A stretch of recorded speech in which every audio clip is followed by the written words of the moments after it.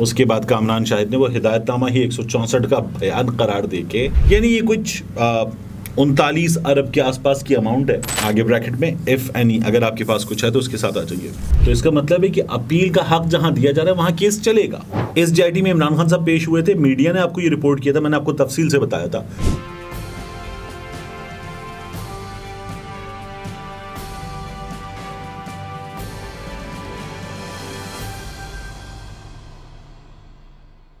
अस्सलाम वालेकुम ये आपका अपना डिजिटल प्लेटफॉर्म है। मैं तारिक मतीन हूँ। जुलाई की इक्कीस तारीख है, जुमे का दिन है।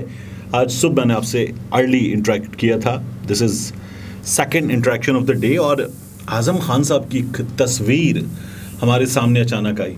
जब तस्वीर को जूम इन किया तो फिर पीछे नैब का लोगो नज़र आया। आज़म खान साहब नैब पहुँचे और उससे पहले गायब रहे थे। गायब रहे और फिर एक हिदायतनामा मीडिया को जारी हुआ कि आज़म खान ने बयान रिकॉर्ड करा दिया है। बयान में है, ये ये ये ये ये बयान को चलाना है। ऐसे बयान चलाते वक्त फुटेज भी लगानी है और वो हिदायतनामा था। उसके बाद कामरान शाहिद ने वो हिदायतनामा ही एक का बयान करार दे के ट्विटर पे डाल दिया। अब आज़म खान साहब जो है वो नैब पहुँचे हैं। ये जो आज़म खान साहब नैब पहुँचे हैं इसमें क्या हुआ है? देखिए नैब का एक लेटर सामने आया। है नैब का ये जो लेटर है इस पर तारीख डली हुई है।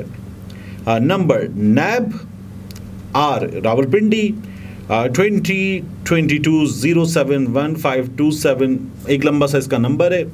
और इस पर लिखी हुई तारीख आप पेन से लिखी हुई तारीख देख रहे हैं इस पर। 20 जुलाई 2023 यानी जुलाई 2023 का है लेकिन 20 जुलाई 2023 पेन से लगी हुई है। मोहम्मद आज़म खान साहब के नाम है ये। पहले दो तीन जो है वो किन सेक्शंस के तहत किस कानून के तहत बुलाया जा रहा है वो बताया गया है। और फिर उसके बाद ये जो account freezing order was secured by National Crime Agency number चार यहाँ से बताया गया। तो ये आ, जो बरतानिया से पैसे पाकिस्तान आए अलकादर ट्रस्ट केस ये उसका मामला है। और इसमें फिर आगे आज़म खान साहब से पूछा गया है कि ये ये ये पता चल रहा है। और इसमें नंबर नौ में लिखा हुआ है कि रिकॉर्ड रिवील दैट ऑन पच्चीस ग्यारह दो हज़ार उन्नीस।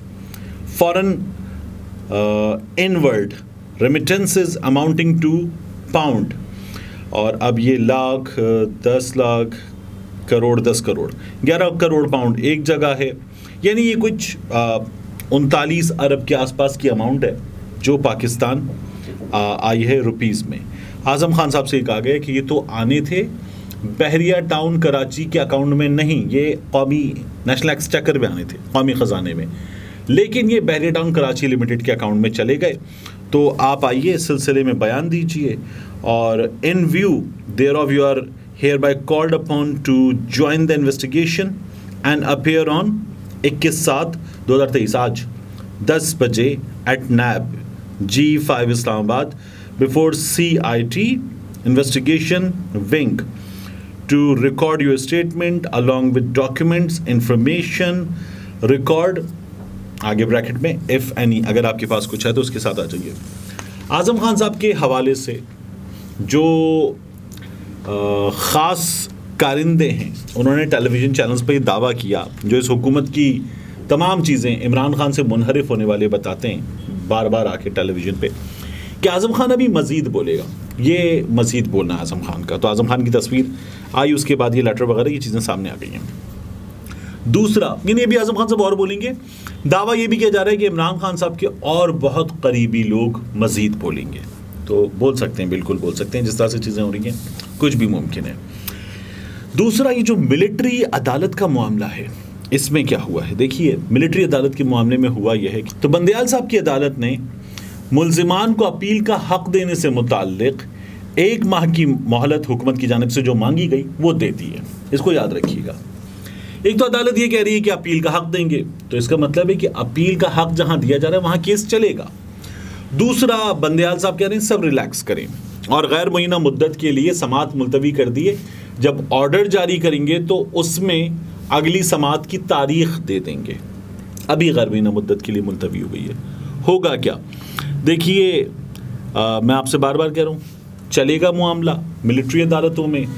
ये जो अपील का हक एक महीने के लिए मांगा गया, ये क्यों मांगा गया? आज किस तारीख है। यहाँ से एक महीना, इसका मतलब हम 20 इक्कीस अगस्त के आसपास की बात कर रहे हैं। तो तब कौन सी हुकूमत होगी? ये हुकूमत नहीं होगी। निगरा हुकूमत होगी। निगरा हुकूमत का जो भी कानूनी नुमाइंदा अदालत में आएगा, वो क्या कहेगा?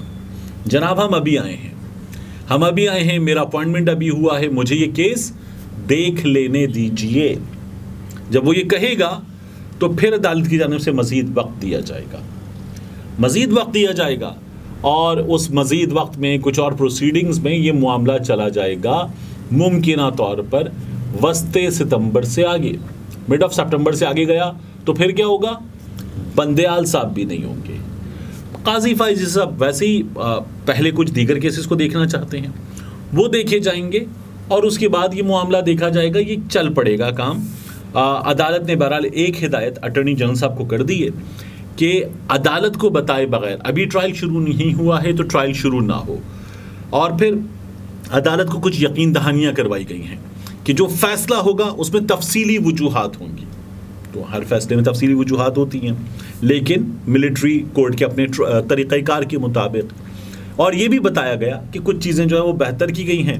यानी जो मुलजमान हैं, उनके वकला और उनके अहल खाना उनसे मिलने की इजाज़त दी जा रही है। तो मिलिट्री कोर्ट वाला मामला जो है, ये तो नज़र ऐसा आ रहा है कि ये ऐसे चलेगा। अब आ जाइए इमरान खान साहब पर।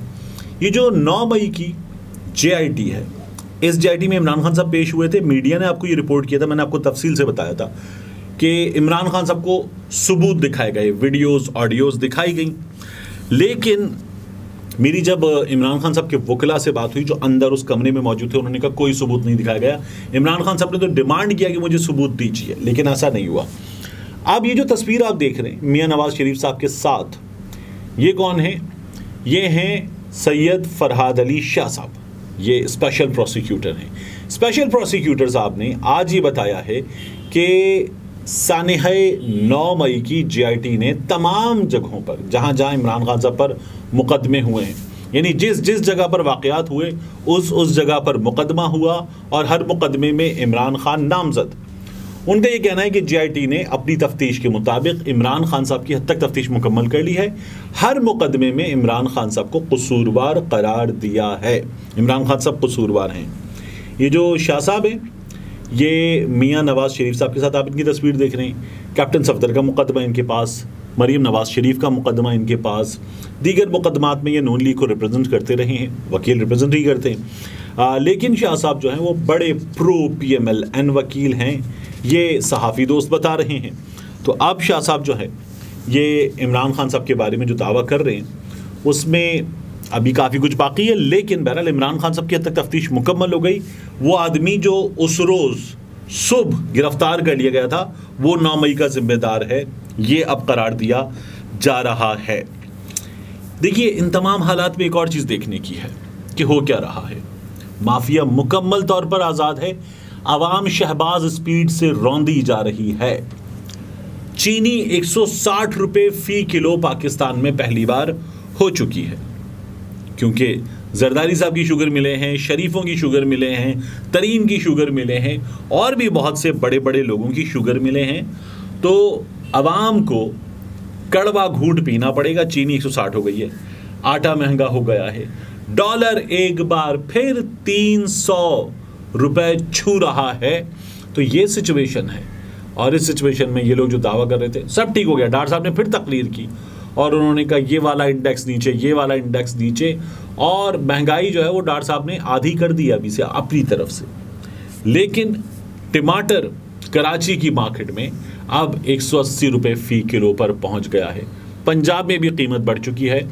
तमाम तवज्जो है इमरान खान को मैनेज करने पर, आज़म खान को अपडेट करने पर। और माफिया इस वक्त मुकम्मल तौर पर आज़ाद है कि वो शहबाज स्पीड के साथ आवाम को लूटता खसूटता रहे। मिलते हैं इंशाल्लाह आपसे अगली वीडियो में।